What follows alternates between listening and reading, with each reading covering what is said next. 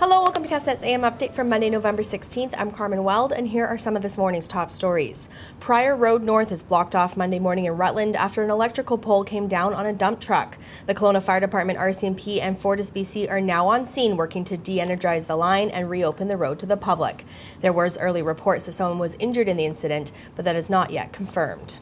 Penticton firefighters responded to a report of flames and smoke seen coming from a garage roof overnight in the alley off Calgary Avenue. Upon arrival, smoke was very slight and crews checked for hot spots. RCMP were called in to assist in what is considered a suspicious fire.